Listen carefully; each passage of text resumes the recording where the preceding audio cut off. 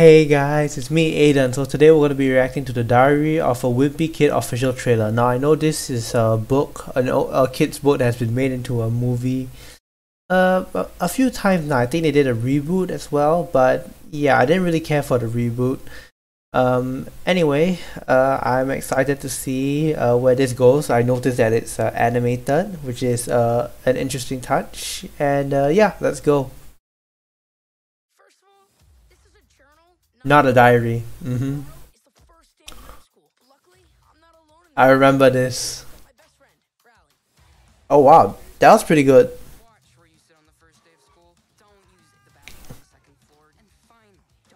The cheese, the cheese.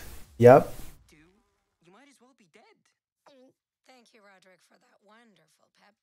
Manny, mom.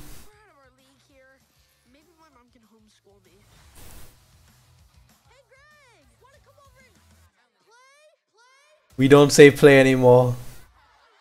Yeah.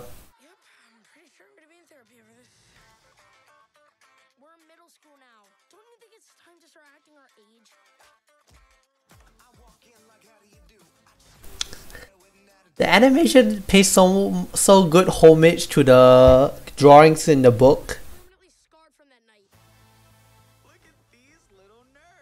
Oh, the Halloween event. I remember that.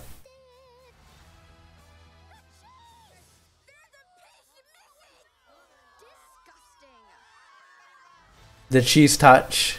It's no joke, guys.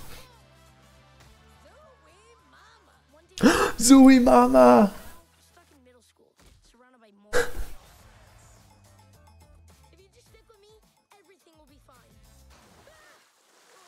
that was the dad, right?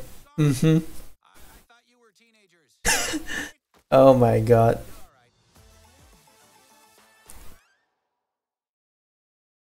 Wow, honestly, that that didn't look too bad. I mean, for once, it isn't a live action, which may be a better change.